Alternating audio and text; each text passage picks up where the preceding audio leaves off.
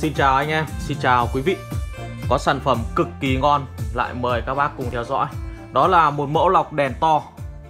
Đèn to của Kenwood anh em nha Mã 7030 Một trong những mẫu lọc rất VIP của dòng lọc Hàn à, dòng lọc Nhật Kenwood Lọc này có cái đèn to Anh em nhìn đã thấy phê rồi. Nó đạt tiêu chí là vừa nghe vừa ngắm. Chất âm của Kenwood thì đỉnh luôn. Bát đánh sâu Thăm thẳm Chép rất nhiều.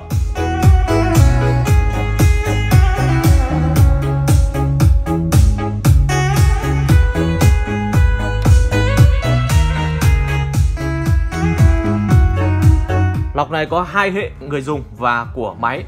Có nghĩa là người dùng ở chế độ M là manual. Đây, bấm đây. Nó có tiếng Anh đây. Và chế độ của máy là